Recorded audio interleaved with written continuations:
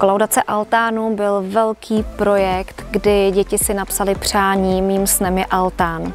Díky Karlovi Jožákovi, jeho osobě, ale následně i jeho firmě stavby Jožák eh, jsme se do toho společně pustili a nakonec se na nás navázalo 16 firm, které nám pomohly sběrem materiálu a i svojí prací.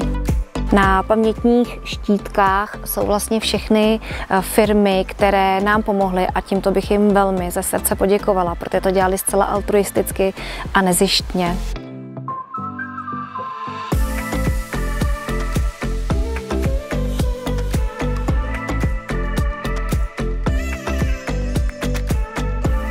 Koordinátorem byl Karel, ale poděkování opravdu patří jmenovitě všem firmám, ač to byly pozemní práce, střechy anebo projekty, všechno je důležité. Byla jsem velmi ráda, že jsme dali dohromady eh, takový eh, tým a takovou vlastně rodinu našich sponzorů a věřím, že tohle nás propojí navždy.